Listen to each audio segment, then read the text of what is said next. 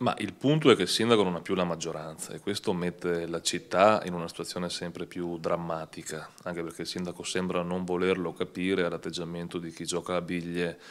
eh, sghignazza mentre Roma brucia, insomma, e questo per noi padovani è davvero preoccupante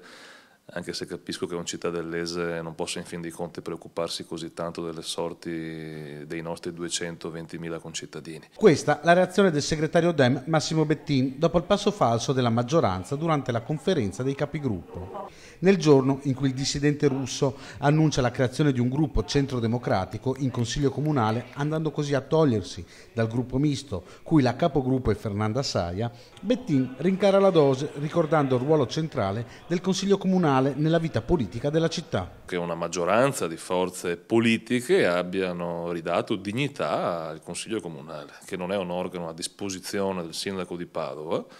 ma è l'organo espressione del voto popolare, il sindaco vi è sottoposto, non può disporne come crede. Questo a prescindere dalle diverse sensibilità che hanno voluto segnare questo colpo. Non c'entra niente l'inciuccio, sono le dichiarazioni disperate